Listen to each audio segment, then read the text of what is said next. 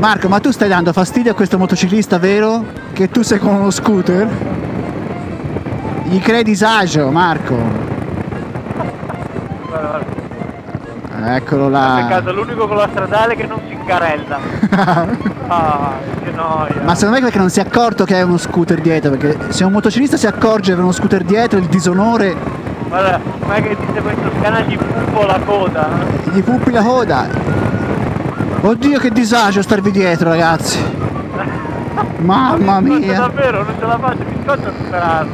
Aspetta che ha scalato. Ah. Eh sì, a te puppa la coda, qui siamo in processione. È, è maleducazione superare uno con una sportiva.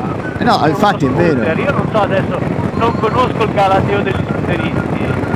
No, Però no, se io fossi eh. una moto sportiva e venissi superato da uno scooter, mi offenderei. Ti faccio ciao, guarda. Sì, sì. T'ha suonato, Marco! No,